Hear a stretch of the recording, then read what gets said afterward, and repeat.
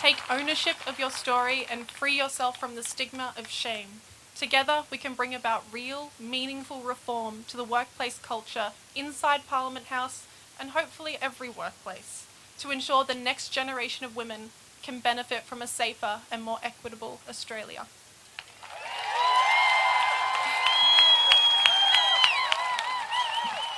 Brittany, we believe you. We believe Brittany. We believe Brittany. We believe Brittany.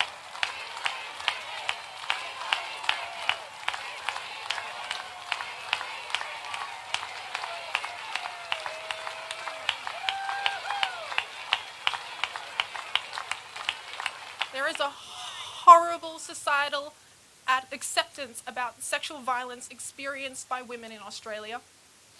My story was on the front page for the sole reason that it is a painful reminder to women that if it can happen in Parliament House, it can truly happen anywhere. This isn't a political problem, this is a human problem. We've all learned over the past few weeks just how common gendered violence is in this country. It's time our leaders on both sides of politics stop avoiding the subject and sidestepping accountability. It's time we actually address the problem.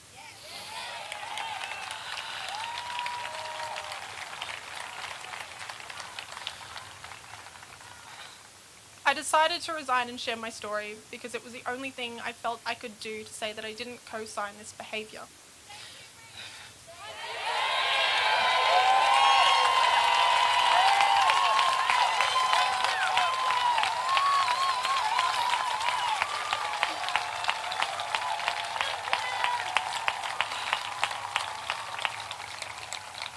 That I don't believe what happened was right, that I don't believe a brochure is adequate support, that I don't believe people should be isolated, intimidated, and ignored after traumatic incidents inside the workplace.